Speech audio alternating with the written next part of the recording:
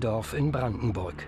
Der ehemalige Sektenbeauftragte der evangelischen Kirche Thomas Gando, hier links im Bild, hat regelmäßig Besuch von Gary Armstrong, einem amerikanischen Scientology-Aussteiger. In den 70er Jahren war Gary Armstrong ein enger Mitarbeiter des Sektengründers L. Ron Hubbard. Der Scientology-Chef war sogar sein Trauzeuge. Damals arbeitete Armstrong an einer Biografie des Sektenführers.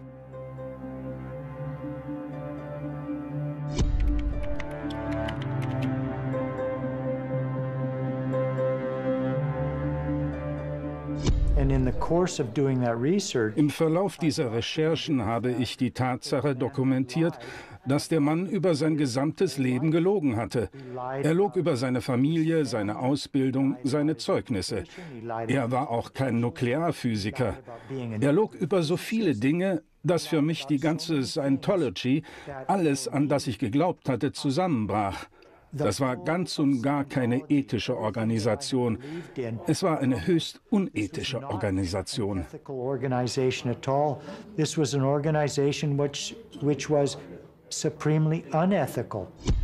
Seit seinem Ausstieg Anfang der 80er Jahre ist Gary Armstrong international als Berater bei Problemen mit Scientology tätig.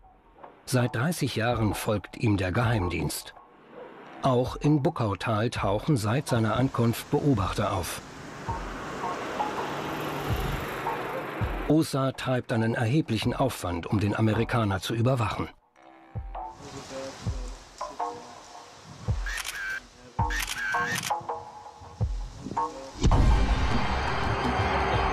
An einem Tag im Frühjahr 2003 wollen Gando und Armstrong in Berlin an einem Gottesdienst teilnehmen. Plötzlich tauchen Verfolger auf.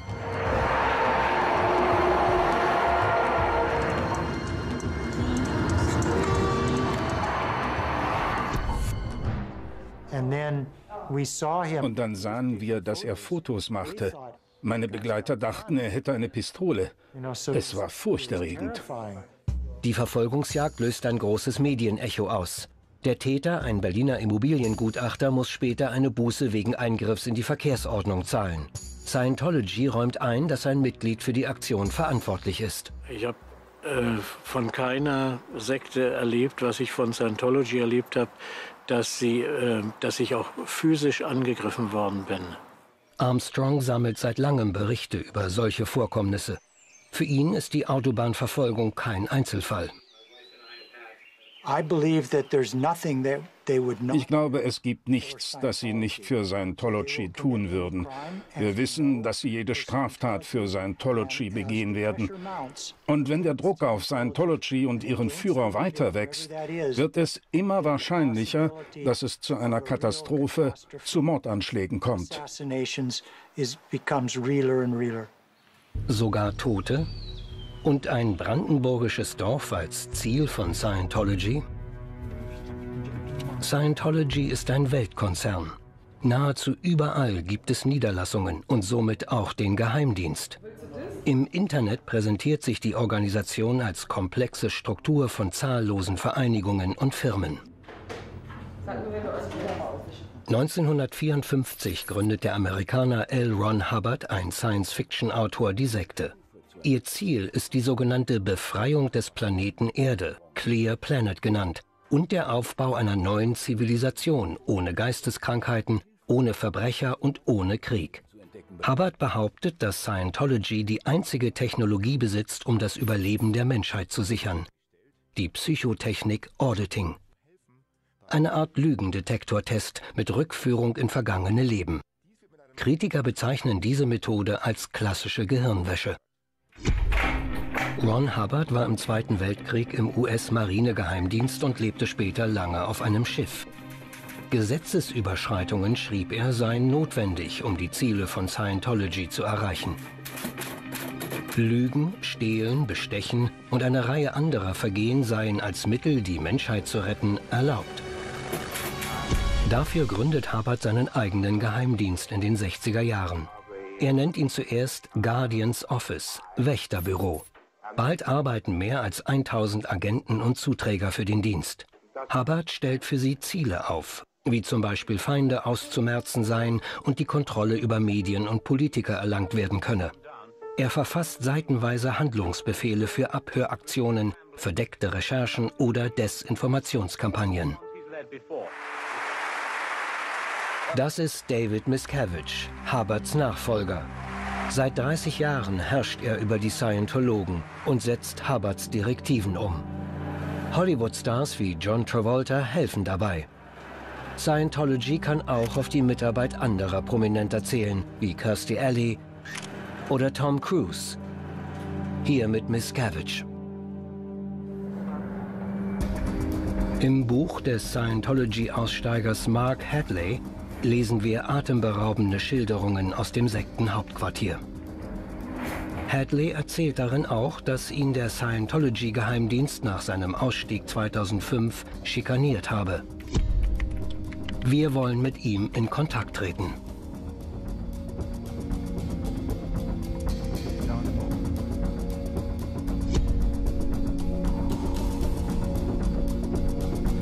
Wir reisen nach Washington, D.C., um uns mit ihm zu treffen.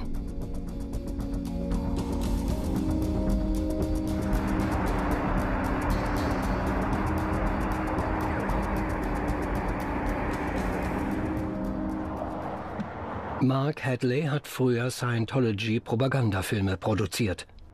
Heute ist er ein erfolgreicher Geschäftsmann im Bereich Multimedia.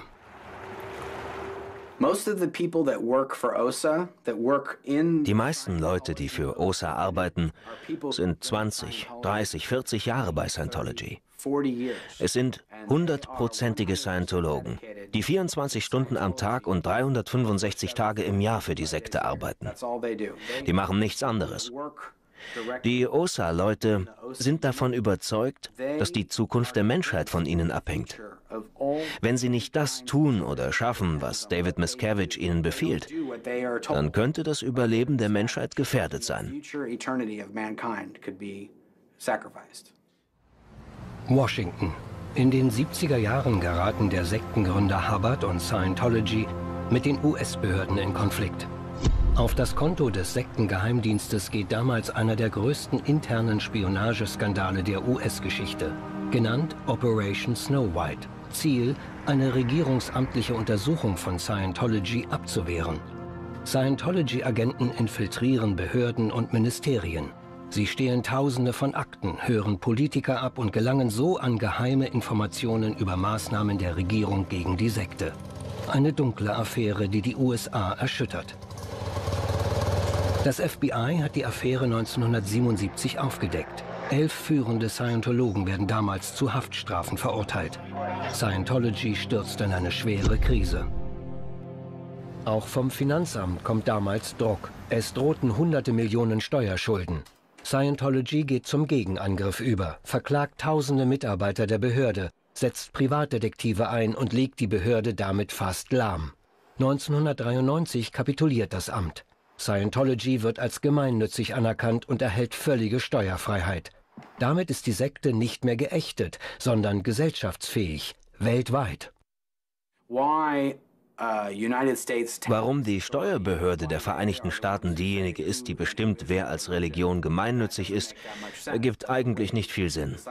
Aber die Scientologen sahen es als einen entscheidenden Weg an, um als Religion in anderen Ländern anerkannt zu werden.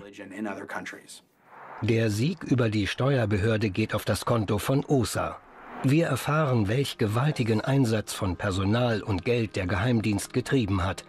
Dessen Chef war damals Mike Winder. Wir sehen uns alte Aufnahmen von Mike Winder im Einsatz an. Er ist das Kind von Scientologen, ist unter Miscavige aufgestiegen und führt seit den 80er Jahren den Geheimdienst. Dabei macht er sich viele Feinde. Im Internet lesen wir, dass Rinder 2007 ausgestiegen ist. Die Ideologie vertritt er aber immer noch. Er ist jetzt Sprecher einer Gruppe namens Unabhängige Scientologen. Wir wollen Kontakt mit ihm aufnehmen. Hochrangige frühere Sektenmitglieder helfen uns, ein Treffen zu arrangieren. Wir reisen nach Florida. Dort soll sich der Ex-Geheimdienstchef aufhalten.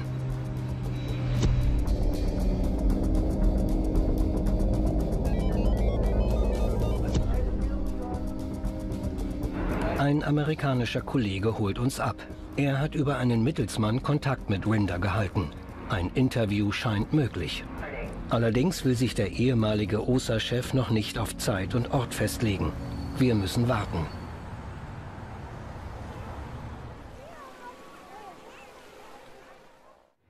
Am nächsten Tag teilt uns der Mittelsmann den Treffpunkt und die Zeit mit.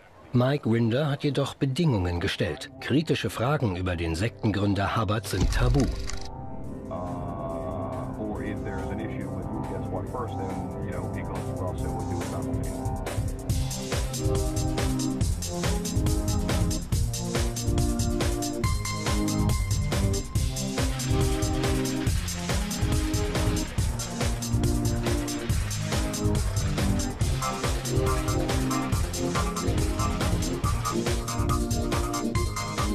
Ganz in Geheimdienstmanier findet das Treffen in einem Hotel in der Nähe der Stadt Tampa, St. Petersburg statt. Mike Rinder ist auf der Hut. Mit dem Sektenführer Miscavige hat er sich total zerstritten. Der frühere Jäger ist zum Gejagten geworden. Mike Rinder zeigt uns, was das bedeutet. Fast tägliche Belästigung durch Männer, die er als OSA-Agenten bezeichnet. Er führt uns ein Video vor, gefilmt in seinem Büro. Okay, wenn du immer noch nicht meinst, dass es reicht, hau ab. Die Polizei ist unterwegs. Du bist ein Vollidiot. Du hast Probleme, Dinge zu verstehen. Du willst kein Lockvogel der Church of Scientology sein, Jim? Geh. Geh. Verlass das Grundstück. Verlass das Grundstück. Verlass das Grundstück. Mike Rinder wird offenbar mit seinen eigenen Methoden bekämpft. Why does a church need an OSA? Because, uh, really, because a, a church lives and operates in a secular society. Warum braucht die Church ein Büro für spezielle Angelegenheiten? Weil eine Kirche in einer säkularen Gesellschaft existiert. Ob das Büro für spezielle Angelegenheiten so sein sollte, wie es ist, das ist eine andere Frage. Aber da man mit Medien und rechtlichen Fragen umgehen muss, auch mit den Behörden, Deshalb vermute ich, dass auch die katholische Kirche Leute dafür hat. Die eigentliche Frage ist doch, wird OSA, so wie es bei Scientology strukturiert ist, wirklich gebraucht? Und die Antwort darauf ist nein. Ich glaube, dass OSA als Abteilung in der Church of Scientology momentan sehr viel mehr Schaden anrichtet, als Gutes bewirkt. Ich glaube, dass OSA für sehr schlechte PR sorgt. Und dass es juristische Fragen aufwirft, die wahrscheinlich noch ein Riesenproblem für Scientology werden. Und ich glaube, vor allem ist Osa ein Spiegelbild der manischen Psychose von David Miscavige. Bitte heißen Sie Mr. Mike Rinder willkommen. Miscavige ließ seinen Geheimdienstchef früher bejubeln. Denn Osa hatte viel dafür getan, den großen Sieg der Steuerbefreiung zu erringen. And Miscavige knows full well that Miscavige weiß sehr gut, dass man zumindest in den USA sehr gut geschützt ist vor Strafverfolgung, sogar vor Zivilklagen, vor jeder Art äußerer Eingriffe in die Angelegenheiten der Church weil sich amerikanische Gerichte wegen des Rechts auf freie Religionsausübung nicht einmischen dürfen. Die Steuerbefreiung schuf einen gewaltigen Schutzschild vor jedem äußeren Einblick in und äußeren Einfluss auf die Church.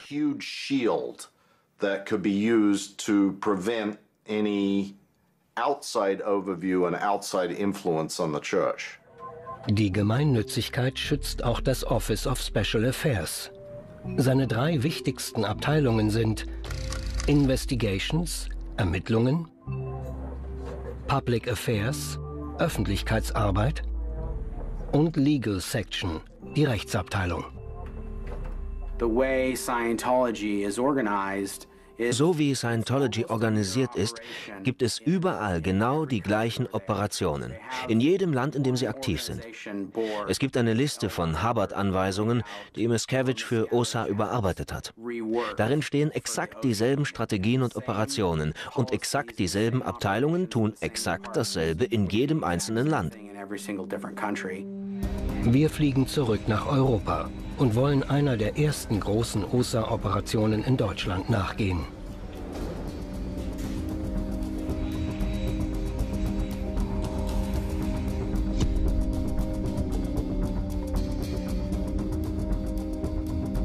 Unser Ziel ist Remagen am Rhein.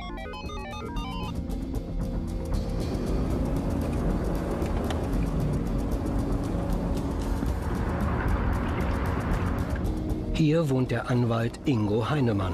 Schon Anfang der 70er Jahre ging er als Jurist eines Verbrauchervereins gegen Scientology vor. Seine Mandanten fühlten sich von Scientology betrogen. Um angeblich geistig frei zu werden, hatten sie extrem teure Kursgebühren bezahlt. Heinemann gerät so ins Visier von OSA. Heute betreibt er eine der umfangreichsten Internetseiten über die Sekte. Ich halte die in jeder Hinsicht für gefährlich. Einmal für den Verbraucher. Ja. Verbraucher werden massiv geschädigt. Diejenigen, die da reingehen, nicht nur Geld, sondern in der kompletten Lebensführung und Lebenshaltung. Zum anderen aber auch durchaus die Öffentlichkeit. Ja. Das ist letzten Endes der Grund auch, warum der Verfassungsschutz sich damit befasst. Würden Sie sagen, dass Scientology verfassungsfeindlich ist? Ja, das ist eindeutig, Scientology ist verfassungsfeindlich. Verfassungsfeindlich kann durchaus sein, wer ständig den Strafgesetzen zuwiderhandelt. Und da bin ich der Meinung, das ist bei Scientology der Fall. Ja, und dann gibt es aber auch durchaus die äh, menschen- und grundrechtliche Schiene. Und auch da bin ich der Meinung. Lässt sich das belegen? Bespitzelt und beschattet wurde Heinemann von ihm, Norman Suchanek.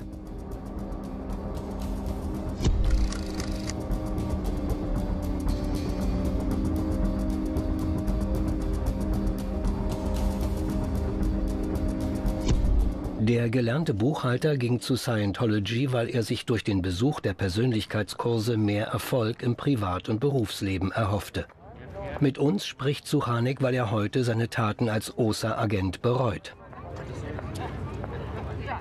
OSA suchte Personal, weil die äh, gegen die Gegner verstärkt vorgehen wollten. Und da wurde ich äh, angeworben.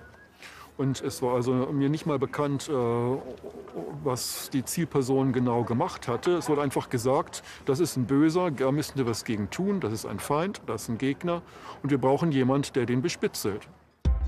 Suchanek soll eine alte Geheimdiensttechnik anwenden, den Müll der Zielperson stehlen und durchsuchen. Anfang der 90er Jahre fährt Norman Suchanek mit einem Kollegen zum Haus von Ingo Heinemann und stiehlt den Müll. Immer wieder monatelang. Die Tonne bringt er anschließend zurück. Die gestohlenen Unterlagen schickt er an ein gemietetes Postfach in Hamburg.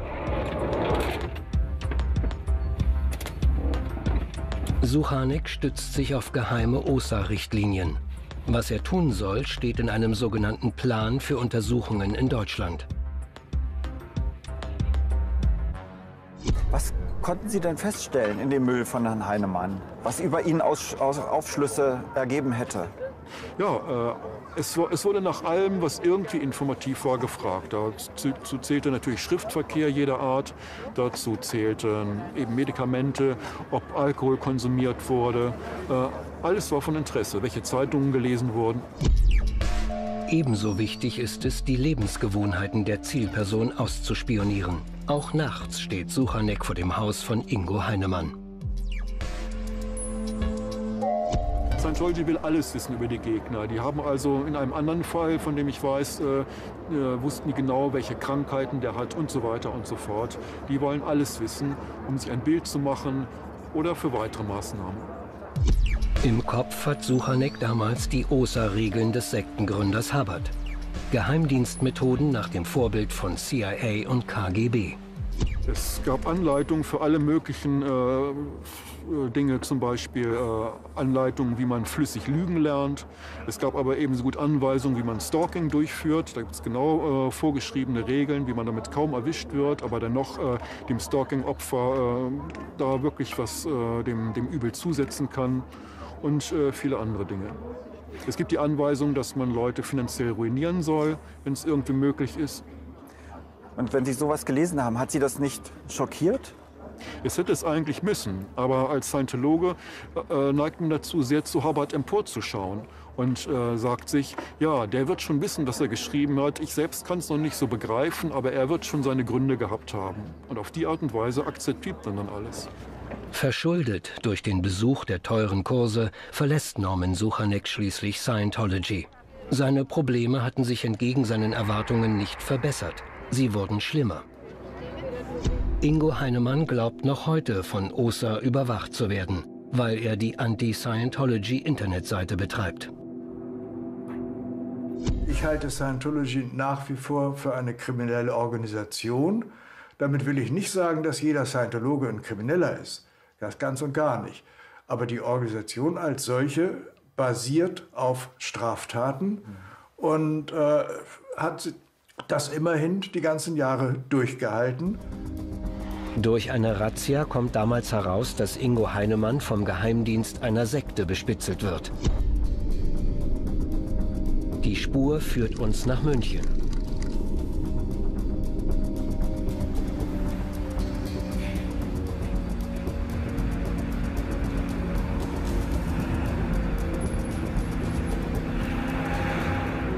Das Scientology-Zentrum in München. 1984 durchsucht die Staatsanwaltschaft im Zusammenhang mit Anzeigen von Ingo Heinemann und anderen Kritikern verschiedene Scientology-Objekte in der Stadt. Die Ermittler stoßen auf brisante Papiere, die uns vorliegen. Darunter der sogenannte Head Write-Up. Detaillierte Direktiven für OSA-Geheimagenten. Etwas Ähnliches ist in Deutschland noch nie gefunden worden. Wir haben eine Verabredung im Amtsgericht München mit dem Mann, der damals die Ermittlungen im Fall Heinemann geführt hat. Als wir ankommen, will der inzwischen pensionierte Beamte plötzlich nicht mehr vor der Kamera reden. Um seine Familie zu schützen, sagt er. Umsonst sind wir trotzdem nicht nach München gefahren. Der ausgewiesene Scientology-Kritiker bestätigt uns, dass die damaligen Ermittlungen geplante OSA-Operationen in Deutschland enthüllten. Und wir haben erfahren, welchen Druck Scientology gegen seine Kritiker aufbauen kann.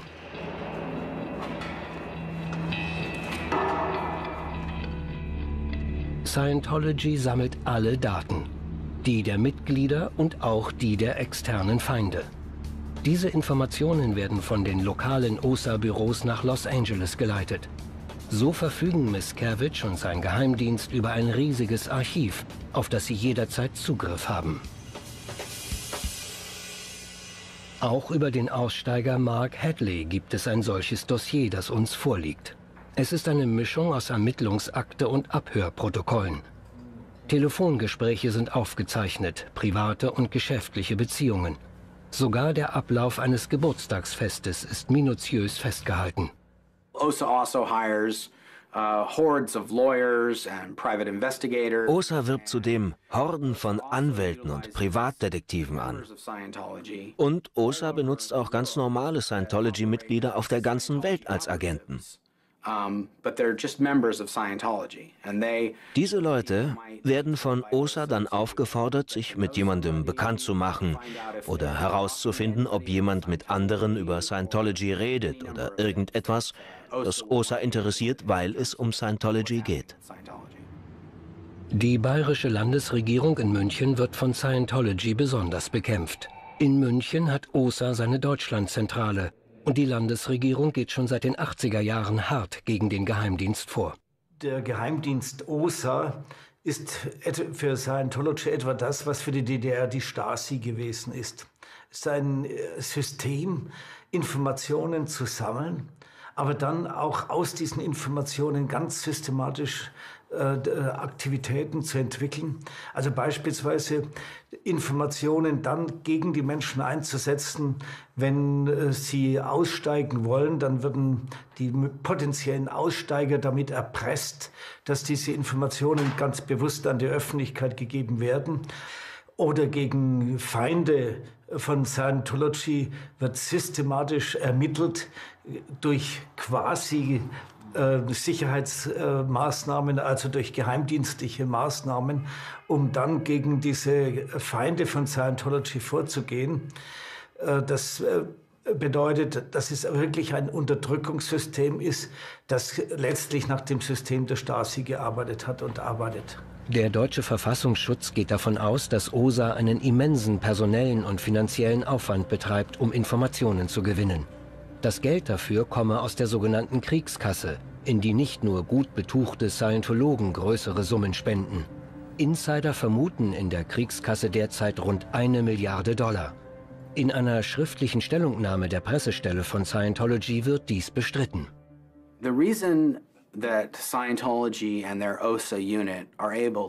Der Grund, warum Scientology und OSA mit ihren Aktionen unbehelligt davonkommen, liegt in ihrer Finanzkraft.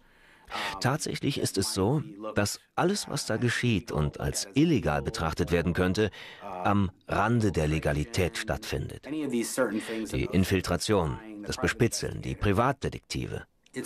All das funktioniert nur durch das Geld. Als ich in den 2000er Jahren noch dabei war, wurden für OSA wöchentlich 100.000 Dollar ausgegeben. So viel bekamen sie pro Woche. Wir fassen zusammen. Hochrangige Ex-Scientologen bestätigen die Existenz eines sekteninternen Geheimdienstes namens OSA, der Kritiker und Aussteiger bespitzelt und schikaniert. Sie sagen, dass OSA über nahezu unbegrenzte Geldmittel verfüge. Wir werden sehen, dass die Sekte, um ihre Ziele zu erreichen, nicht nur Geld einsetzt, sondern auch Prominente, die Einfluss auf US-Politiker haben, vor allem berühmte Hollywood-Schauspieler. Wir erfahren, auch nach Rinders Ausstieg gelingt es OSA weiterhin, amerikanische Politiker für eigene Zwecke zu instrumentalisieren. Um dieser Spur zu folgen, fahren wir nach Hamburg. 1992 gründet der Senat die Arbeitsgruppe Scientology. Ihr Auftrag Aufklärung über die Sekte. Wir wollen wissen, wie Scientology darauf reagiert hat. Denn das Amt mit seinen staatlichen Mitteln wird im US-Hauptquartier der Sekte als Gefahr gesehen. OSA wird eingeschaltet und übernimmt die Observation der Chefin dieser Behörde, Ursula Caberta, heute noch eine aktive Kritikerin der Psychosekte. Für OSA wird sie zum Feindbild Nummer eins, da sie der deutschen Regierung Gründe für ein Scientology-Verbot liefert. Mit regelmäßigen Überwachungen versucht OSA, sie einzuschüchtern.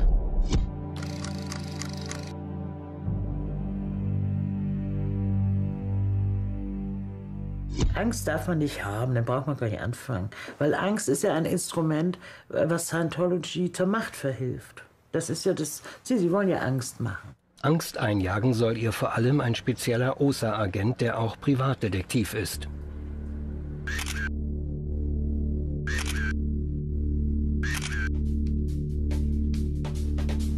Dieser Scientologe schnüffelt seit Jahren hinter Ursula Caberta her. Er befragt als Reporter getarnt Firmen nach Details ihrer Anti-Scientology-Haltung. Er tritt auch als Privatdetektiv im Auftrag einer amerikanischen Anwaltskanzlei auf. Er erkundigt sich bei Nachbarn, Freunden, Arbeitskollegen. Er sucht wunde Punkte in Cabertas Vergangenheit, um sie öffentlich zu diskreditieren. Wir fahren in einen kleinen Ort in der Nähe von Hamburg, wo der Privatdetektiv eine Firma betreibt. Ein Gespräch mit uns lehnt er ab. Wenig später überrascht er uns auf der örtlichen Tankstelle. Es kommt zum Handgemenge, als er uns die Kamera entreißen will. Pass auf, pass auf, Du lässt das Ding stehen, sonst hau ich dir in die Fratze. Wenn du jetzt abhaust, hau ich dich platt. Dann bekommen Sie eine Anzeige. Du wirst mich kennenlernen. Moment. Dann fährst du aber mit dem Krankenwagen heim. Das muss ich einkalkulieren. Baus ab. Als wir Stunden später vor der Hamburger Scientology-Zentrale filmen, ist der Privatdetektiv auch schon da. Spätestens jetzt weiß Scientology, dass wir an diesem Film über sie arbeiten. Doch als wir um ein Interview bitten, werden wir hingehalten. Wir sollen erst einmal unsere Fragen einreichen. Detektive, Anwälte und Sektenmitglieder, die mit aggressiven Mitteln eine scientologische Gesellschaft durchsetzen wollen, stehen seit Jahren unter Beobachtung des Verfassungsschutzes. Die Arbeit ist Ländersache. Hamburg, Bayern und Baden-Württemberg gehen am konsequentesten gegen den Sektengeheimdienst vor und veröffentlichen regelmäßig Berichte über OSA. Wir wollen in Hamburg erfahren, warum der Dienst sich mit OSA beschäftigt. Scientology hat sehr deutlich erklärt und hat davon niemals Abstand genommen, dass sie eine neue Zivilisation wollen und dass es sich um eine scientologische Zivilisation handeln soll. Und sie haben auch sehr deutlich gesagt, und davon nehmen sie auch keinen Abstand, dass es erst eine wahre Demokratie mit Scientologen gäbe. Und äh, tatsächlich ist es so, dass es sich um einen totalitären Psychokult handelt mit eindeutigen politischen Ambitionen und in einem scientologischen System. Und da hat das OVG Münster 2008 die Sicht des Verfassungsschutzes bestätigt. Scientology verlor da ja grandios das Verfahren. Die wollten sich ja von der Beobachtung verfreien. Also da hat das Gericht bestätigt, tatsächlich, es ist so, in einem scientologischen System wären äh, Grundrechte, auf die wir Wert legen, abwesend oder zumindest stark eingeschränkt. Wir erfahren in diesem Gespräch auch, dass der Verfassungsschutz erst kürzlich in Hamburg einen OSA-Agenten enttarnt hat. Es sind da ein paar Profis drunter, das merkt man, wenn äh, OSA-Agenten aus den USA hierher kommen. Die betreiben ja glattweg Observationen von den USA durchgehend bis nach Hamburg. In den Flugzeugen sitzen hinter den Kritikern in der Reihe, hören vielleicht auch sogar dabei noch zu, was die reden. Übergeben hier an deutsche Scientologen, die sich als Observanten betätigen. Und da merkt man sehr deutlich, dass die aus den USA herkommen, meistens etwas professioneller sind. Observationen in Deutschland, auch heute noch? Im Sommer 2011 werden wir tatsächlich Zeugen einer solchen Überwachung am Hamburger Flughafen. Ursula Kaberta erwartet dort wie so oft einen hochrangigen Scientology-Aussteiger aus den USA. Wir bemerken, dass auffällig unauffällige Menschen Fotos machen. Diese Frau fotografiert hinter einem Schild. Ein anderer beobachtet. Uns fallen mindestens sechs Personen auf, die die Ankunft dokumentieren und per Handy übertragen. Ursula Caberta begrüßt den Gast Marty Rathburn, ehemals die Nummer zwei bei Scientology nach David Miscavige. Wir sichten noch weitere Observanten. Top-Aussteiger wie Rathburn sind laut Hubbard Unterdrücker, das heißt Erzfeinde der Sekte. Weltweit jagt ihr Geheimdienst mit seinen Detektiven Dutzende solcher Unterdrücker. Man will sie zum Schweigen bringen. Einen der Leute, die Rathburn fotografieren und der uns besonders auffällt, sprechen wir an. Hallo. Hallo. Schönen guten Tag, wir sind von Arte. Wovon Sie auch wem sind Sie? Von Arte. Wollten Sie auch Marty Rathburn begrüßen? Wen wollten wir was? Marty Rathburn begrüßen. Wer ist das? Na, den Sie eben so fotografiert haben. Ah. Und, haben Sie was dagegen? Sie kennen Sie ihn? Nee. Warum fotografieren Sie den denn dann? Weil ich viele Leute fotografiere, genauso wie ich Sie jetzt fotografiere. Aha. Problem? Mal wieder sind einige also sehr neugierig, wen Caberta so alles empfängt. Die resolute Hamburgerin ist auch unserem amerikanischen Gesprächspartner nicht unbekannt.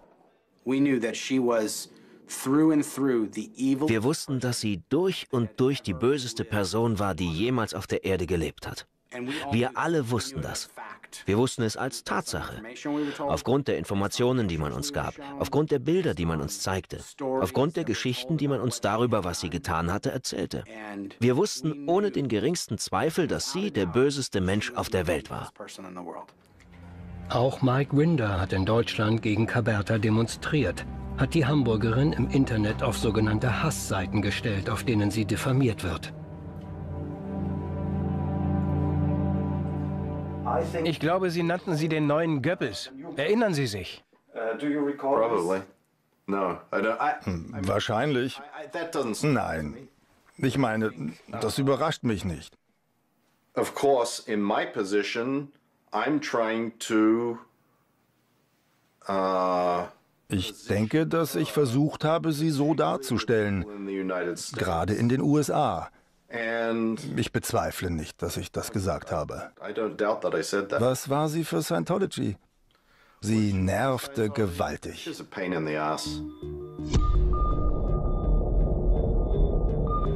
Das amerikanische Generalkonsulat in Hamburg. Mehrfach ist Ursula Caberta hier vorgeladen worden, um sich für ihre Maßnahmen gegen Scientology zu rechtfertigen. Wie hier in Hamburg setzen sich Behörden der US-Regierung regelmäßig massiv für den Sektenkonzern ein. Der jährliche Menschenrechtsbericht des State Department berügt Deutschland immer wieder für seine angebliche Diskriminierung von Scientologen. Seitdem die deutsche Regierung Scientology als totalitäre Organisation einstuft, kommt erheblicher Druck aus den USA, meist vom Außenministerium, dem die Konsulate weltweit unterstehen. Beim Wikileaks-Skandal 2010 kommt heraus, dass sich das US-Generalkonsulat sehr für Caberta interessiert. Eine Konsulatsdepesche belegt, dass ein Hamburger Staatsrat Behördeninterner über Caberta weitergegeben hat. Im Konsulat fanden Veranstaltungen statt, auf denen für die Scientology-Organisation Narconon geworben wurde. US-amerikanisches Generalkonsulat lädt ein und die haben eine bestimmte Einladungsliste von Wirtschaftsleuten, von Politikern, Polizeipräsident, Politiker, Abgeordnete, alles. Wenn ich an, als eine extremistische Organisation an die Entscheidungsträger in Politik, Wirtschaft und Kultur herankommen will, dann ist kein bessere Plattform gegeben als ein, ein amerikanisches Generalkonsulat. Und genau das machen sie und das zeigt den Einfluss. Weil natürlich mindestens zehn Leute da wieder rausgehen, wenn nicht mehr, nach dem Motto, ja, wenn die Amerikaner sehen das doch auch nicht so schlimm. Wieso denn wieder gerade die Deutschen? Das genau gehört in die Strategie von Hubbard ausgearbeitet. Wir müssen eine, ein Klima schaffen, wo Scientology ohne Belästigung wachsen und gedeihen kann. Und dazu dient dann ein US-amerikanisches Generalkonsulat. Ich finde, das ist ein massiver Einfluss. Das Konsulat bestätigt dies jedoch nicht und lehnt ein Interview zum Thema ab. Wir haben Ex-Geheimdienstchef Rinder um eine Einschätzung gebeten. Wie bekommen Sie das dann weitergeleitet an den amerikanischen Konsul in Hamburg? Ich weiß nicht. Sie veranlassen das State Department. Sie briefen das State Department und bringen die dazu, die Konsuln vor Ort zu instruieren. Und wer schafft es, das State Department dazu zu bringen, das zu tun? Die Leute, die zu ihnen gehen und mit ihnen reden. Ann Archer ging hin. Außer Vizechef Kurt Weiland ging hin. John Travolta ging hin. Ein Haufen von Lobbyisten gingen hin. Anwälte gingen hin. Ich selbst ging zum State Department. Es ging darum, jemanden dort zu briefen, was es mit der Diskriminierung von Scientologen in Deutschland auf sich hatte. Berlins Bürgermeister mit Scientology-Werbeträger Tom Cruise.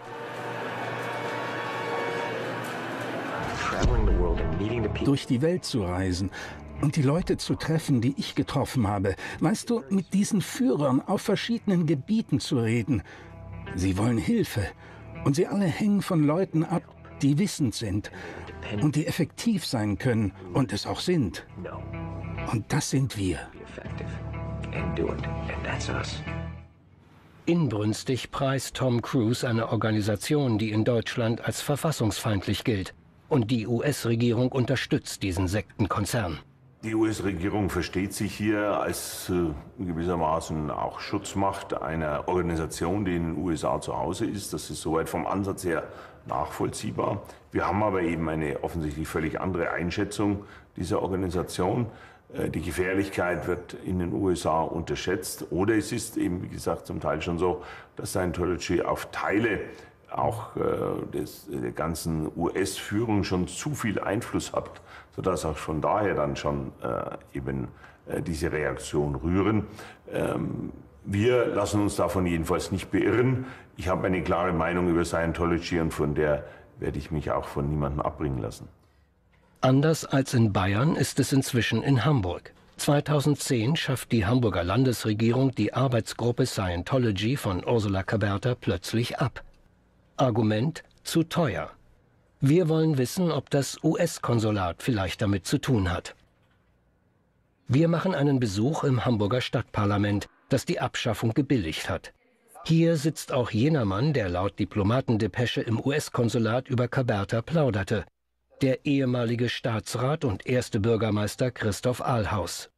Alle unsere Interviewanfragen hat er abgelehnt. In einer Sitzungspause versuchen wir es auf gut Glück.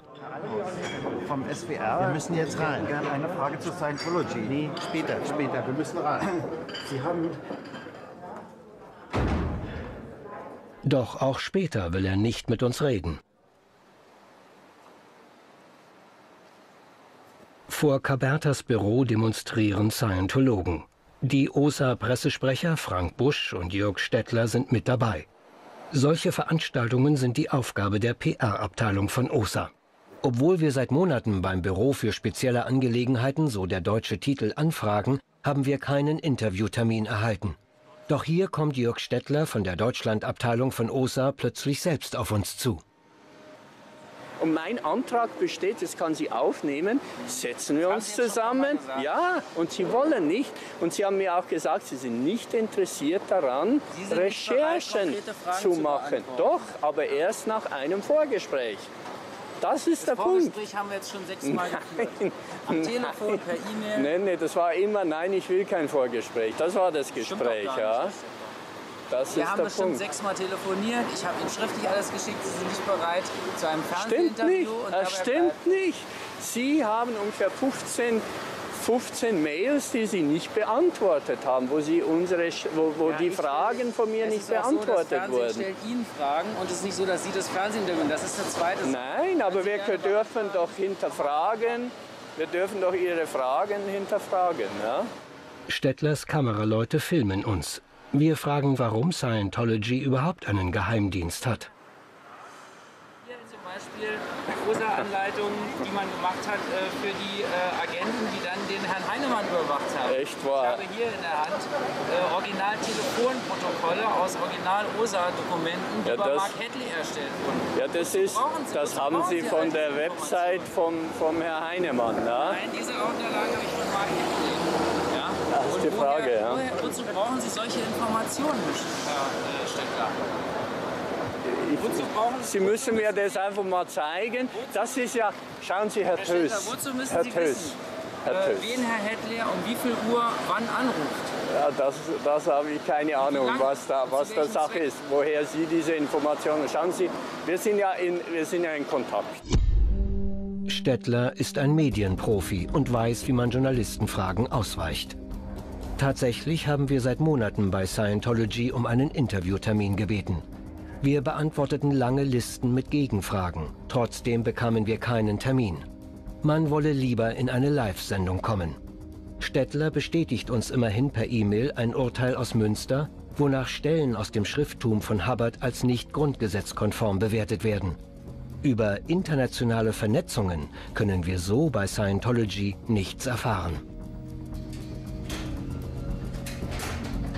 Sehr aktiv ist Scientology auch in Frankreich. Es ist das einzige Land in Westeuropa, das ernsthaft versucht hat, Scientology aufzulösen. Wir fahren nach Paris. Nirgends kam der Sektengeheimdienst so weit. Er beschaffte Informationen aus Ministerien und sogar aus dem Büro des Staatspräsidenten.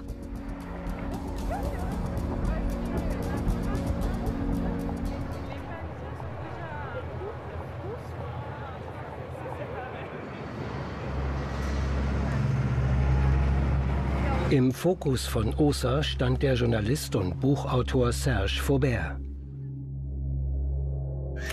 Er hat alle großen Scientology-Prozesse beobachtet und ein Buch über den Sektengeheimdienst geschrieben.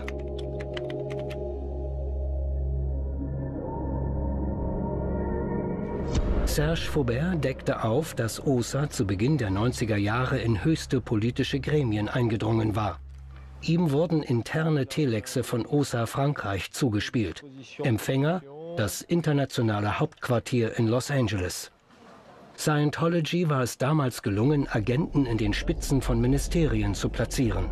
Sogar ins direkte Umfeld des Präsidenten François Mitterrand schleuste OSA einen Spion ein. Sein Deckname F-10. Faubert zeigt uns die originalen Dokumente. OSA wollte Informationen über geplante Anti-Scientology-Operationen des Staates bekommen und drei Top-Scientologen sollten aus der Haft befreit werden. Der Agent F-10 ist ein ehemaliger Elitepolizist. Er arbeitet so erfolgreich, dass es im internen OSA-Bericht heißt, das Justizministerium wird oft durch den Präsidenten der Republik ausgeschaltet, dessen Befehle direkt an die Direktion für Strafangelegenheiten gehen. Das ist eine direkte Verbindung, die jetzt für uns arbeitet. F-10 wird auch in Sachen inhaftierter Scientologen tätig. Wenig später schickt OSA ein Telex nach Los Angeles. Die Nachricht ist, okay, es klappt. Die Ampel steht auf grün.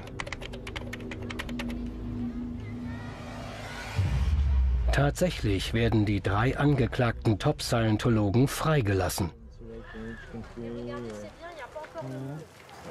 Bevor es damals Ermittlungen gab, erzählt uns Faubert, setzte sich der OSA-Agent F-10 nach Afrika ab. Zuletzt wurde er in Uganda gesehen.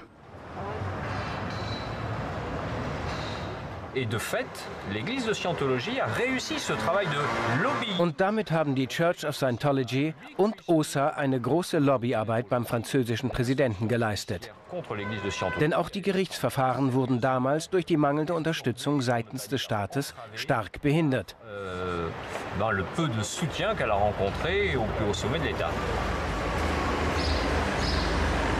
Serge Faubert macht deutlich, welche Möglichkeiten OSA besitzt. Einen Agenten direkt beim Präsidenten. Das war ein Erfolg. Immer wieder gelingt es Scientology, Gerichtsverfahren in Frankreich zu überstehen. Aber im Januar 2012 bestätigt das Pariser Berufungsgericht ein aufsehenerregendes Urteil. Die Sekte wird zu 600.000 Euro Strafe verurteilt, wegen bandenmäßigen Betrugs. Der größte private Geheimdienst der Welt hat das nicht verhindern können.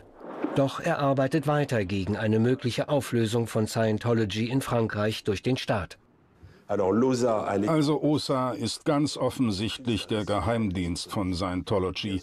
Und die sind ganz sicher gefährlich, denn sie sind bereit, Methoden anzuwenden, die totalitär sind.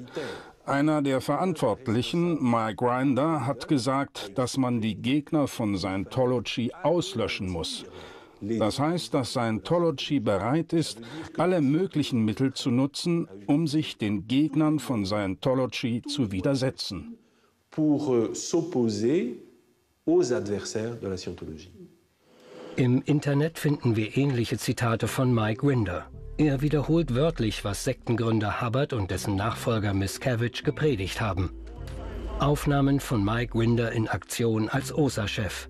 Im Ausland sind fast alle Einsätze mit seinem Namen verbunden, auch in Frankreich. Ich habe immer geglaubt, dass die Probleme in Frankreich, Deutschland oder Russland oder wer weiß wo Eins der vielen Probleme, die Miscavige hat, ist, dass ihn eigentlich an der Zukunft nichts weiter interessiert als sein eigenes persönliches Wohlbefinden. Ich habe es immer für sehr problematisch gehalten, die Zügel in irgendwelchen Ländern schleifen zu lassen, weil ich überzeugt bin, dass es letztlich doch Folgen hat, was irgendwo anders in der Welt geschieht. Und dafür gibt es jede Menge Präzedenzfälle.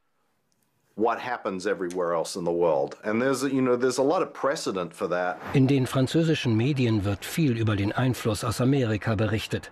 Der Druck aus den USA steigt, wenn die Regierung in Paris Maßnahmen gegen Scientology erwägt. Zum Beispiel 2001. Mitglieder des mächtigen Komitees für Auswärtige Beziehungen im US-Senat drohen mit Einführung der Visapflicht für Franzosen, sollten die Feindseligkeiten anhalten. Ja, es gab politische Interventionen, erhebliche politische Interventionen. Amtlicherseits hat namentlich Madeleine Albright als Außenministerin beim damaligen Premierminister direkt interveniert, um die Scientologen zu unterstützen. Es gibt eine beträchtliche Anzahl von amerikanischen Politikern, die Scientology verteidigen. Wie ist es möglich, dass sich US-Politiker auch in Frankreich so stark machen für Scientology? In Hinterzimmern der Regierungen soll ein Klima des Wohlwollens für die angeblich verfolgte Glaubensgemeinschaft geschaffen werden. Die Erfolge werden in Scientology-Zeitschriften gefeiert. Wie aber hat Mike Grinder dies fertiggebracht? Es wurde gemacht, indem die richtigen Leute angeheuert wurden, so wie alles in Washington gemacht wird. Sie können einen früheren Beamten des Außenministeriums, der jetzt Privatmann ist, einstellen. Sie können einen Lobbyisten einstellen, der dann eben Mr. Wichtig kennt. Sie können diesen Menschen anheuern. Alles in Washington läuft über Lobbyismus und darüber, die Leute zu finden, die die Leute kennen, die mit den Leuten zu Mittag essen, die mit den Leuten reden können.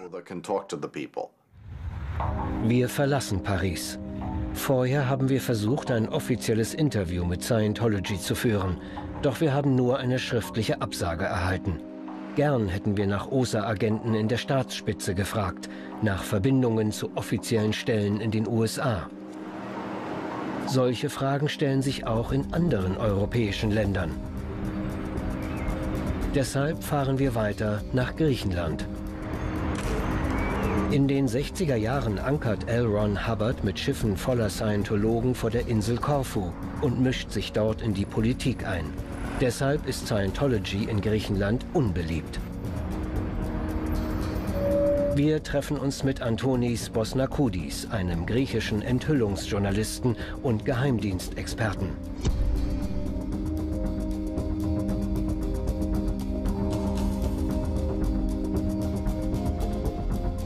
1995 stürmen besorgte Eltern die Scientology-Zentrale in Athen aus Angst um ihre Kinder, die dort rekrutiert wurden. Die Staatsanwaltschaft wird aktiv und lässt scientologische Einrichtungen durchsuchen. Bosnakudis zeigt uns Dokumente, die bei den Durchsuchungen entdeckt wurden. Darunter sind Pläne für ein scientologisches Projekt Balgravia, um nach dem Fall des Kommunismus in den 90er Jahren Einfluss auf die Regierungen der Balkanländer, Bulgarien, Griechenland, Albanien und Jugoslawien zu gewinnen.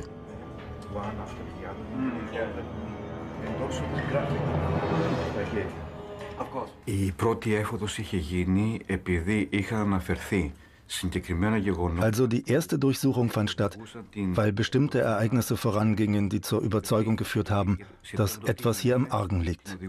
Scientology zielte ganz klar auf die Zerstörung von Familien, die Ausbeutung von Menschen und die Übertretung von Menschenrechten ab. Die Aktenfunde haben dann gezeigt, dass auch das Thema der nationalen Sicherheit betroffen war.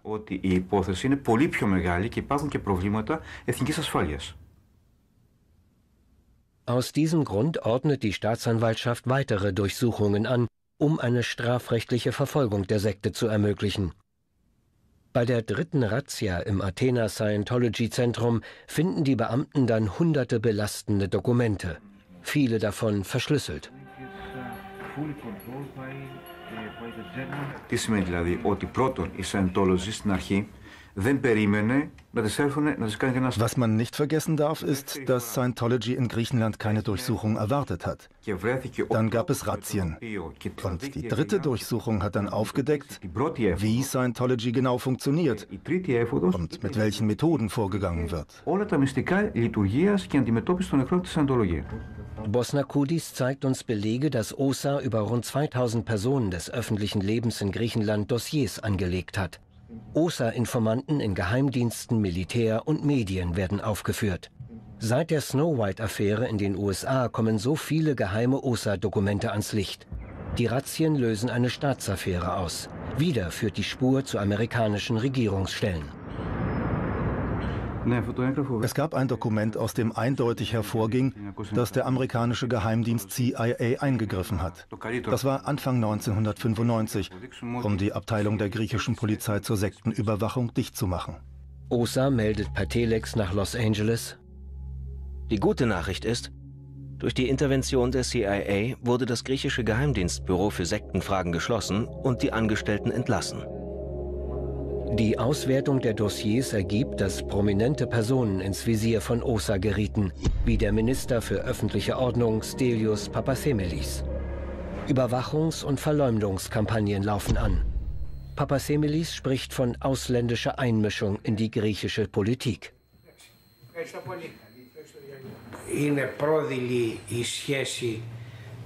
Die Beziehungen zwischen Scientology und der CIA sind eindeutig. Das Hauptentscheidungszentrum der USA hat eine Beziehung zu Scientology. Ich selbst wurde auch zur Zielscheibe dieser Organisation. Ich kann mir zwar nicht vorstellen, dass sie mir etwas Negatives anhaben könnten, aber ich konnte aus den Dokumenten ersehen, dass ich die Zielperson war. Die Athener Staatsanwaltschaft hält die Umtriebe des Sektengeheimdienstes für staatsgefährdend. Besonders die Verbindungen von OSA mit amerikanischen Behörden und Geheimdiensten beunruhigen sie. Schließlich klagt sie Scientology an, unter anderem wegen Spionage. Unter den beschlagnahmten OSA-Dokumenten befinden sich auch geheime Unterlagen der griechischen Streitkräfte. Bilder und Lagezeichnungen eines Militärflughafens bei Athen. Die Sekte wird 1997 verurteilt und ihre Lehre in Griechenland verboten.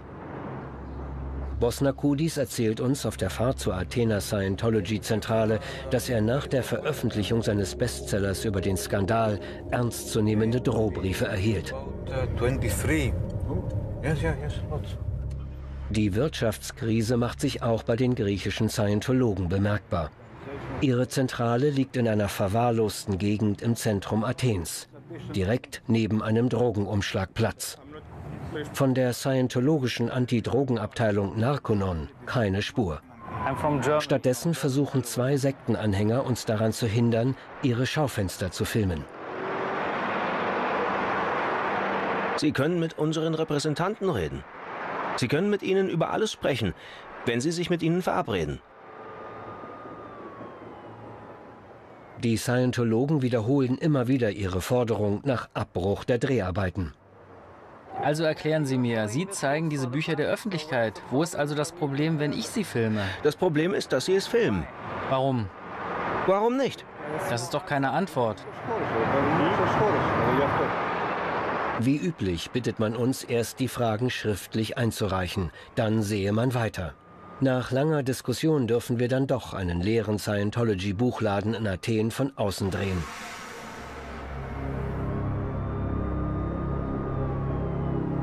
Bosnakudis wurde von Scientology wegen seines Enthüllungsbuches verklagt. Doch er hat den Prozess gewonnen. Die Sekte musste Strafe zahlen, an ihn. Das Gericht befand, der Journalist hatte sorgfältig und den Tatsachen entsprechend recherchiert. Während wir in Athen sind, sind die damaligen Scientology-Einrichtungen dort weiterhin verboten. Die Sekte ist einfach unter anderem Namen aktiv. Einige der in Athen beschlagnahmten Dokumente stammen aus Russland. Sie befassen sich mit den dortigen Aktivitäten von Scientology und enthalten Hinweise auf die Infiltration der Rüstungsindustrie. Wir verlassen Athen und reisen nach Russland.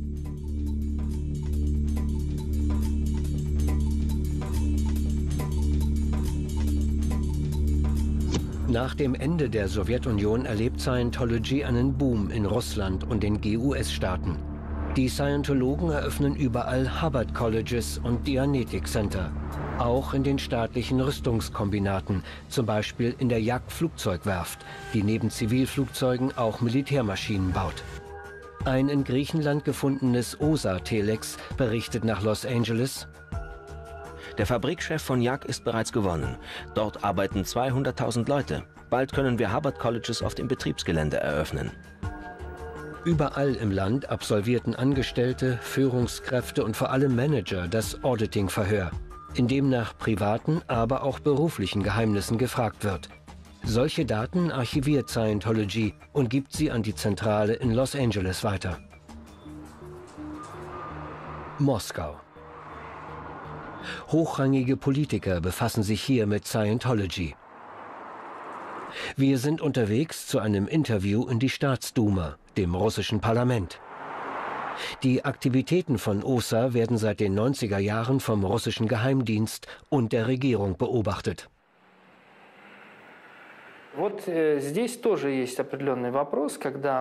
Wir haben große Bedenken, wenn solche Dianetic Colleges in staatlichen Betrieben entstehen, besonders in Militärkomplexen. Warum ausgerechnet dort? Warum müssen da solche Organisationen hin? Steht dahinter nicht der wahre Wunsch, an ganz andere, geheime Informationen zu kommen? Informationen, die ein Militär- oder Staatsgeheimnis sind. Wenn Leute hinter solchen Informationen her sind, dann ist das gesetzeswidrig. Bilder des russischen Geheimdienstes FSB. Polizei und Geheimdienst stürmen ein Scientology-Büro. Wie in Athen werden auch hier Hunderte von OSA-Dossiers und Personenakten beschlagnahmt. Informationssammlungen über Behörden, Großbetriebe, Personen des öffentlichen Lebens. Die Berliner Zeitung deckt 1998 auf, dass der designierte russische Ministerpräsident Kirienko früher Kurse bei Scientology absolvierte. Ist der heutige Chef der Atomenergiebehörde dadurch erpressbar? Die russischen Behörden sind immer wieder schockiert über die Brisanz der Informationen und sprechen von Spionage. Die Aktenfunde zeigen, dass es Scientology gelang, in sicherheitsrelevante Bereiche einzudringen. Sie etablierten Hubbard Colleges in staatlichen Rüstungsfabriken und in geheimen Atomstädten. Doch wozu braucht eine Einrichtung, die sich als Kirche bezeichnet, Informationen über Atomwaffenanlagen? Sollten diese Informationen weitergeleitet werden? Selbstverständlich. Es ist doch offensichtlich, wenn Scientology ihre Filialen in vielen Ländern hat und die Zentrale sich in den USA befindet, dann ist es doch klar, dass alle Informationen nach Amerika weitergeleitet werden. Es wäre kein Problem, wenn diese Organisation in einem normalen Rechtsfeld agieren würde. Aber hinter jeder Scientology-Organisation steht eine Holding. Andererseits sehen wir, dass Scientology sich als Kirche bezeichnet. Das heißt, wir haben es hier mit einem religiösen Anspruch zu tun. Unser Gesetz sieht vor, dass religiöse Organisationen steuerbefreit sind. Aber die Frage ist doch, warum stellen sie sich als Kirche dar? Für uns ist es klar, dass es eine Pseudoreligion ist, mit undurchsichtigen Zielen. Der Nachrichtendienst FSB stuft OSA als feindlichen ausländischen Geheimdienst ein. In den russischen Medien finden wir auch viele Berichte über das Verbot zahlreicher Schriften von L. Ron Hubbard. Seit Juni 2011 stehen sie auf dem Index und sind damit offiziell verboten. Trotzdem werden sie weiter produziert. Wir haben einen Tipp von den Behörden bekommen und fahren zu einem geheimen Scientology-Objekt am Stadtrand von Moskau. Die Gebäude sind mit Stacheldraht gesichert. Wir warten. Nur selten bekommt man jemanden zu Gesicht. Hier sollen angeblich die Bücher gedruckt werden, die Russlands Regierung für extremistisch hält. Diese Bücher werden trotz des Verbotes hier in der pompösen Moskauer Scientology-Zentrale verkauft. Auf ihrem Internetportal machen die Scientologen große Werbung für Russland. All combined, it provides room for hundreds at a time. Dies ist die erste ideale Scientology-Kapelle in einem Land, das nach 70 Jahren religiöser Repressionen noch immer keinen Halt gefunden hat. Der russische Staat ist sich der Gefahr, die von Scientology und OSA ausgeht, bewusst. Das zeigt ein Video eines russischen Kollegen bei YouTube. Er war bei einer Razzia im Oktober 2011 in der Moskauer Scientology-Zentrale dabei.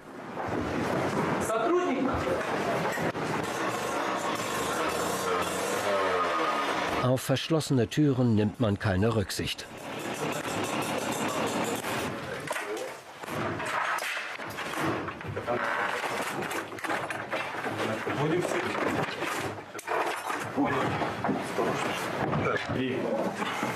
Wieder werden verbotene Schriften gefunden und beschlagnahmt. Unsere Recherchen zeigen, dass die Behörden sowohl in Russland wie auch in Griechenland immer wieder mit Härte gegen Scientology vorgehen und Verbote aussprechen. Dennoch bleibt die Sekte in beiden Ländern aktiv. Wir fliegen zurück nach Deutschland. Mit unseren Anfragen bei OSA Deutschland kommen wir nicht weiter. Jörg Stettler, Leiter des deutschen Presse- und Rechtsamtes der Sekte, lehnt ein offizielles Interview für diesen Film weiterhin ab.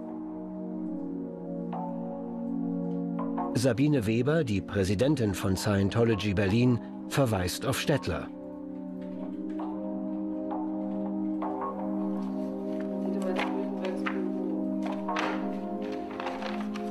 Da wir auch vom internationalen Scientology-Sprecher Tommy Davis keine Antwort auf unsere zahlreichen Anfragen erhalten haben, beschließen wir nach Hollywood zu reisen. Zum Hauptquartier von Scientology und ihrem Geheimdienst.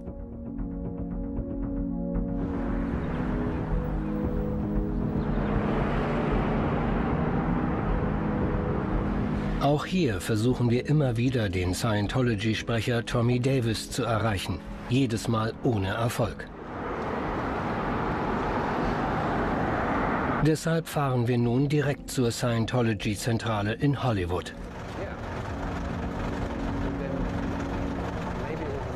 Die Zentrale, Big Blue genannt. Etwa 1000 Scientologen sollen hier arbeiten. Irgendwo hier müsste auch Tommy Davis sein. Die Straßen sind wie leergefegt. Überall sind Kameras. Sogar in den Bäumen. Alle Scientologen bekommen sofort Kontaktverbot über einen kleinen Empfänger, den sie am Gürtel tragen. Denn Journalisten sind für sie sogenannte Unterdrücker. Wir versuchen es trotzdem. Hallo? Dürfen wir Sie etwas fragen? Wir sind vom deutschen Fernsehen. Ich fürchte nein. Wir würden gern wissen, warum hier niemand mit uns reden will. Ich verstehe. Was ist der Grund dafür? Reden Scientologen nicht mit jedem? Tut mir leid, ich muss weg. Deutsches Fernsehen, dürfen wir Sie etwas fragen? Warum verstecken Sie sich alle?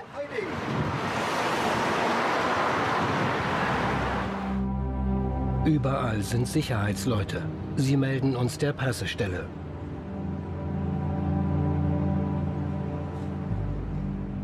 Schließlich kommt eine Mitarbeiterin.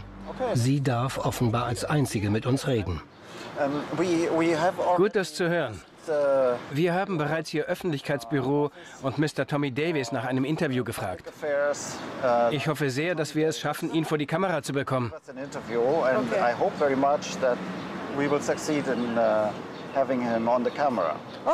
Wissen Sie was? Er kommt auf Sie zu, sobald er die Möglichkeit hat. Aber wissen Sie, wenn Sie hier herumlaufen und unsere Gläubigen stören, dann macht das die Sache viel schwerer. Wir wollen die Gläubigen nicht stören. Natürlich würden wir nicht einfach in eine Scientology-Kirche gehen, wenn es hier eine gäbe. Was meinen Sie denn damit, wenn es hier eine gäbe? Genau hier, das sind die Kirchen. Nach Kirche sieht es für uns hier nicht gerade aus. Alles erinnert eher an eine geschäftige Firma. Wir fahren weiter. Einige hundert Meter den Hollywood Boulevard hinauf liegt die internationale OSA-Zentrale in einem ehemaligen Bankgebäude. Vielleicht ist Tommy Davis hier zu finden. Auch hier überall Kameras. Wir bekommen kaum jemanden zu sehen. Diskret steuert Miscavige von hier aus mit etwa 100 führenden Mitarbeitern ein Netz an Informanten, Lobbyisten, Anwälten, Agenten und Detektiven.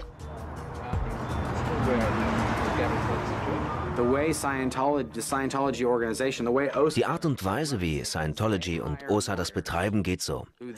Sie heuern Anwälte an, die dann ihrerseits andere Anwälte oder eine Privatdetektei anheuern, die dann Privatdetektive anheuern, die Ex-Scientologen oder Scientology-Kritiker verfolgen. Daher gibt es viele Organisationsebenen zwischen dem Einzelnen und OSA. Das macht es schwer nachzuweisen, dass ein bestimmter Privatdetektiv für eine Detektei arbeitet, die für einen Anwalt arbeitet, der für die OSA arbeitet. Sie sind sehr gut darin. Sie machen das schließlich jetzt seit 50 Jahren. Wir suchen im Internet nach Hinweisen auf Tommy Davis. Scientology schottet sich ab. Ihr Sprecher zu sein ist daher nicht leicht. Ex-Scientologen besorgen uns seine Handynummer. Wir erreichen immer nur die Mailbox. Im Internet finden wir einen Film über Scientology von amerikanischen Kollegen. Sie interviewen auch Tommy Davis. Auf kritische Fragen, etwa zum Science-Fiction-Hintergrund von Hubbards Ideologie, antwortet der Sektensprecher nicht. Plötzlich bricht Tommy Davis das Interview ab. Scientology nach außen zu vertreten ist ein Schleudersitz. In der Öffentlichkeit ist Davis seit Monaten nicht mehr gesehen worden. Über das Internet fragen wir Ex-Scientologen, wo er sein könnte. Die Antworten sind eindeutig. Bilder des abgeschotteten Wohngeländes des Sektenführers Miscavige in der kalifornischen Wüste.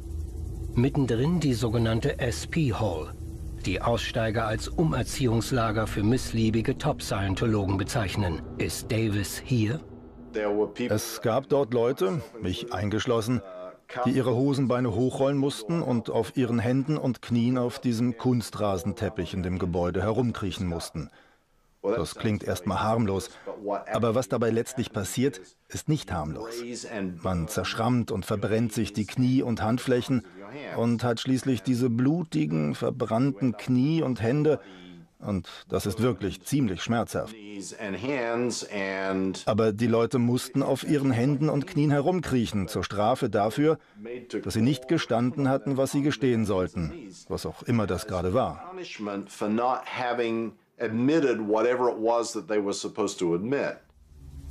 Obwohl seit Jahren über Menschenrechtsverletzungen berichtet wird, hat es hier noch nie eine Polizeirazzia gegeben. Wenn die Polizei höflich nachfragt, wird erklärt, alle Personen seien freiwillig da. Beschwerden gebe es nicht. Immer wieder haben wir uns gefragt, warum die US-Politik all dies duldet. 35 Interviewanfragen zum Thema Scientology haben wir an Bürgermeister, Kongress- und Senatsabgeordnete und ehemalige Minister gestellt. Alle wurden abgelehnt. Wir machen einen letzten Versuch bei einer öffentlichen Fragestunde im Stadtparlament von Los Angeles. Hier sitzt der verantwortliche Politiker für den Bezirk, in dem die Scientology-Zentrale Big Blue liegt. Jeder US-Bürger darf hier Fragen stellen. David, unser Amerikaner im Team, füllt das Formular aus. Wenig später unterrichtet der Pressesprecher den Abgeordneten Eric Garcetti von unserem Wunsch. Die Reaktion? Wir werden unmissverständlich aufgefordert, den Saal zu verlassen.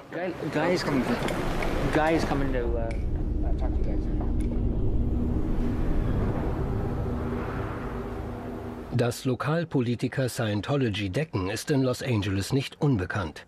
Kritiker sind auf Erstaunliches gestoßen. Diese Unterlagen zeigen Spenden, die ein Lokalpolitiker namens Jeff Stone erhalten hat. Viel Geld in kleinen Tranchen eingezahlt von Scientologen. So tarnt die Sekte ihre politische Landschaftspflege. Wir sehen uns auch ein Video der Kritiker an. Es zeigt, wie sie den Politiker Jeff Stone zur Rede stellen wollen. Er ist am Wohnort von David Miscavige zuständig. Warum laufen Sie weg? Das sind ernsthafte Sachen, Sir. Jeff Stone flüchtet. Unmittelbar danach wird einer der Kritiker ohne Begründung verhaftet. Warum nehmen Sie ihn fest? Warum nehmen Sie mich fest? Hat er nicht, Setz dich hin. Hat er nicht das Recht, es zu erfahren? Jeff Stone hat ihm befohlen, mich zu verhaften. Jeff Stone hat ihm befohlen, mich zu verhaften. Noch einmal und ich setze den Elektroschocker Als Beamter an, okay? müssen Sie mir sagen, warum Sie mich festnehmen. Warum? Ich verletze Warum? Ihr Gesicht. Wir stoßen auf weitere Verbindungen zur Politik. Sie reichen bis ins Weiße Haus. Während der Regierung von Bill Clinton erlangte Scientology die Steuerbefreiung. Hillary Clinton setzt sich immer wieder für Scientology-Organisationen wie zum Beispiel Narconon ein. Bill Clinton schreibt als US-Präsident mehrfach Gastartikel in der Scientology-Zeitschrift Freiheit. Wie lässt sich das erklären? In Hollywood ist viel Geld zu holen, auch für Wahlkämpfe. Nach unseren Recherchen einer der Gründe, warum hier die Fäden zusammenlaufen zwischen Scientology, Schauspielern und Politik. Auf solchen Galas werden berühmte und wohlhabende Scientologen oft aufgefordert, in die Kriegskasse zu spenden. Die meisten wissen nicht, was OSA mit ihrem Geld macht, doch manche kommen zur Besinnung. Mit Scientology-Stars wie dem Jazzmusiker Chick Corea und der Filmschauspielerin Kirstie Alley wuchs dieser junge Mann auf, Tiziano Lulli. In der italoamerikanischen Community ist Tiziano Lulli heute ein Star. Als Kind prominenter Scientologen wurde er von klein auf indoktriniert. Er habe nichts von den Intrigen und Übergriffen geahnt, sagt er. Dann, im Jahr 2010, stieg er aus.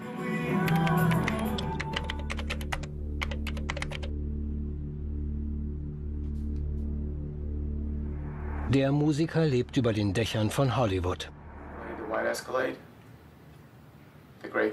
Wir nehmen sein Angebot an, ihn an seinem Wohnort zu interviewen.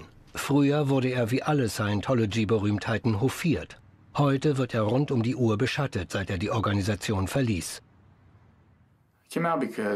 Ich bin ausgestiegen, weil ich einfach zu viel gesehen hatte.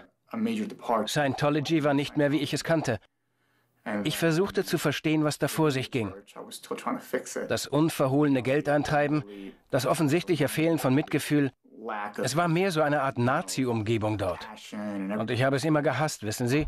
Und während man bei Scientology ist, versucht man das zu rechtfertigen. Weil es immer diese Moorrübe der Freiheit gibt, die sie dir vor die Nase halten. Du musst es so und so machen, weil wir es so machen. Nichts ergab jemals irgendeinen Sinn. Aber man rechtfertigt es, weil diese ultimative Freiheit am Ende des Weges winkt, mit der man zum Supermann wird. So verkaufen sie es dir. Tiziano Lulli filmt die OSA-Detektive. Über 70 verschiedene Schnüffler hat er schon aufgenommen und identifiziert. Sehen Sie den dicken Kerl?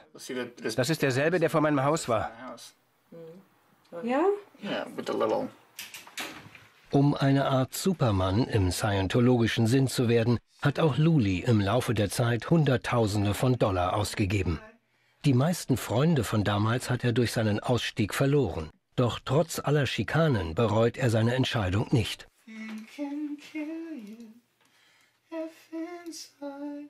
Obwohl er jetzt von Scientology als Unterdrücker bezeichnet wird, lässt er sich von OSA nicht einschüchtern. Er will die Öffentlichkeit auf die Machenschaften des Geheimdienstes hinweisen. Er dreht den Spieß um und überwacht die Überwacher. Wir fahren mit. Wissen Sie, die sind immer an den gleichen Stellen. Jetzt gerade ist es ziemlich interessant, weil sie wahrscheinlich im Fluchtmodus, im Versteckmodus sind. Einige von denen sind wirklich scheu und mögen es gar nicht, wenn man ihnen zu nahe kommt. Ein Typ trägt ein Halstuch vor dem Gesicht, um sicherzugehen, dass man sein Gesicht nicht erwischt. Denn wie ich vermute, verlieren sie ihren Job, wenn sie erkannt werden. Es gibt für sie keine Privatheit mehr, wenn man sie aufnimmt und auf YouTube stellt. Schnell wird Tiziano Lulli fündig. Einer sitzt im Auto und macht gerade eine Pause. Er schließt sich selbst ein. Welchen Film guckt er? Hey, how are you? What are you doing? Hey, wie geht's? Was machen Sie da drin? Offen auf dem Beifahrersitz entdecken wir seine Notizen. Öffentliche Untersuchung heißt diese Geheimdiensttaktik. Sie soll das Opfer einschüchtern. Hast du ein Problem, dass ich dich beobachte? Du hast kein Problem, mich zu beobachten. Also warum sollte es für dich ein Problem sein, wenn ich dich beobachte? Du wirst von einer korrupten Organisation bezahlt. Wie kannst du nachts schlafen? Die betreiben Menschenhandel, Sklaverei, Zwangsabtreibung, schlagen ihre Mitglieder.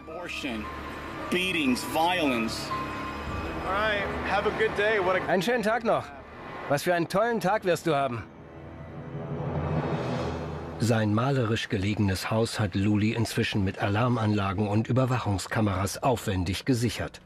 Die Kamerabilder werden 24 Stunden lang auf sein Handy übertragen. Es ist gut, immer und überall zu wissen, wer in deinem Haus ist. Und außerdem habe ich die Aufnahmen. Zu jeder beliebigen Zeit. Die Nachbarn haben Angst vor den Detektiven und rufen oft die Polizei. Doch Luli will weitermachen und sich von Osa nicht zum Schweigen bringen lassen. Aber mittlerweile sollten Sie wissen, dass das Geld, das Sie bekommen, direkt von gehirngewaschenen Leuten erpresst wurde. Sie glauben, Sie retten den Planeten, während Sie in Wahrheit 50.000 Dollar pro Tag ausgeben, nur um mich, Jason Beege, Mike Grinder und Marty Rathbone zu verfolgen.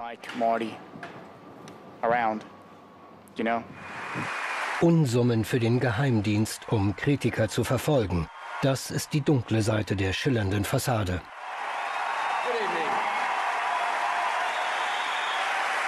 Solange sie mitspielen, sind die Prominenten sehr gern gesehene Gäste, wie hier beim Tetan-Treffen 2007. Sie sind das Scharnier der Sekte zur Politik. Ganz nebenbei werden bei vertraulichen Gesprächen Politiker überzeugt, das Richtige zu tun, wenn sie sich für Scientology einsetzen. Ein Geschäft auf Gegenseitigkeit, sagt Mike Rinder. Es gibt immer eine Gegenleistung für diese Sachen. Das geht immer, also, Sie wollen Tom Cruise als Helfer für Ihre nächste Wahl und so weiter? Er soll zu Ihrer nächsten Spendengala kommen? Sie möchten John Travolta? Und nichts davon wird festgelegt. Aber es ist die Weise, wie alles gemacht wird in Washington. Wir machen uns auf den Weg zu unserer letzten Station, der Stadt Clearwater in Florida. Das Mekka der Scientologen. Dort haben Scientology und OSA beinahe ihr Ziel erreicht. Eine Welt nur mit Scientologen.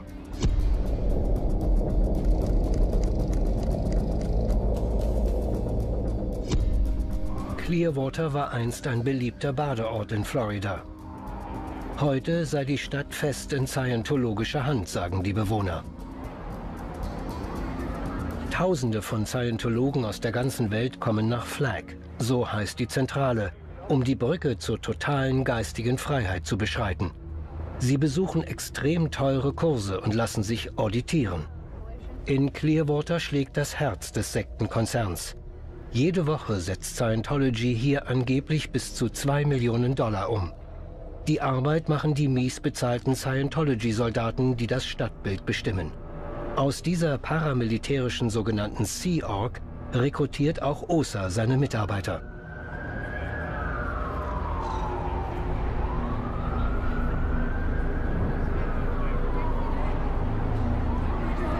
Ein Wachmann will uns vertreiben und ruft die Polizei. Uh,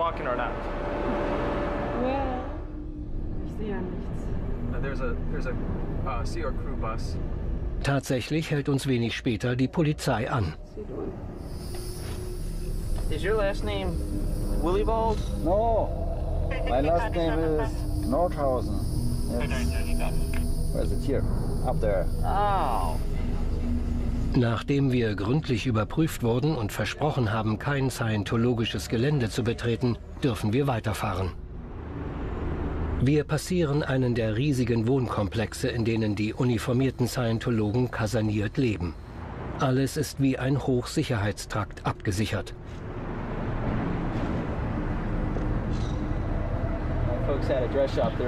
Der Anwalt Luke Leroux, hier links, ist bekannt in Clearwater. Er hat immer wieder Menschen erfolgreich gegen den Sektenkonzern vertreten.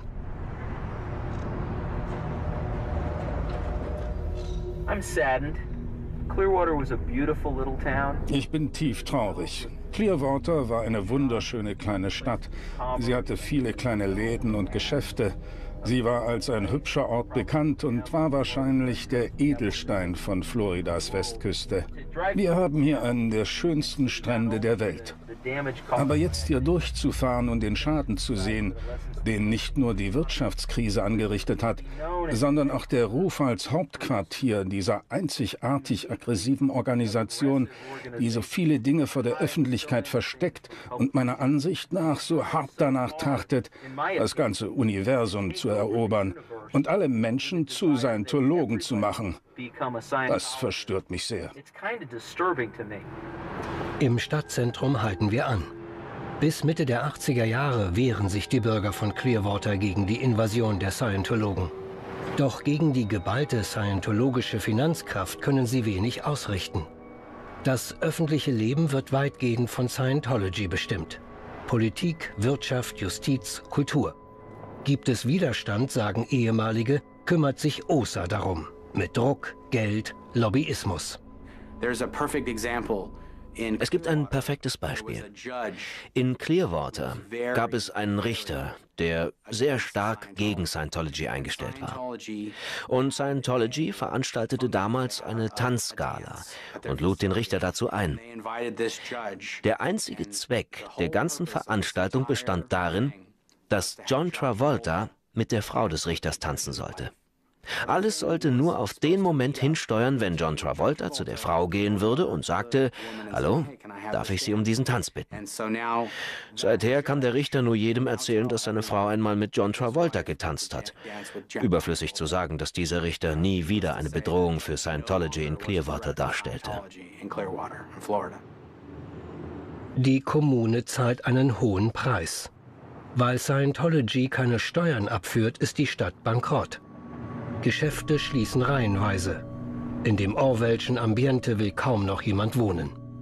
Verlassen wir das Auto, haben wir Sicherheits- oder OSA-Personal auf den Fersen und werden gefilmt. Wir fragen einen Mitarbeiter nach seinem Chef, Scientology-Sprecher Tommy Davis. Wo ist Ihr Chef? Sie können alle Fragen an das Freedom Magazine richten. Sind Sie ein Scientologe? Sie können alle Ihre Fragen an das Freedom Magazine richten. Sind Sie ein Roboter? Sie können alle Ihre Fragen an das Freedom Magazine richten. In Clearwater wird deutlich, Scientology verfügt über nahezu unbegrenzte Mittel, um alles dafür zu tun, was Sektengründer L. Ron Hubbard die Sicherung des Überlebens von Scientology nannte. Unbegrenzte Mittel, steuerfrei, auch und gerade für den Geheimdienst. Scientology ist ein Konzern. Sie sind ein Multimillionen, vielleicht sogar ein Multimilliardenkonzern. Und am Ende gewinnt, wer die meisten Chips auf dem Tisch hat. Ich glaube, das hat Scientology perfektioniert. Am Abend verlassen wir das Mecker der Scientologen. Bis weit nach Mitternacht brennt das Licht in ihren Büros. OSA, so heißt es, schläft nie.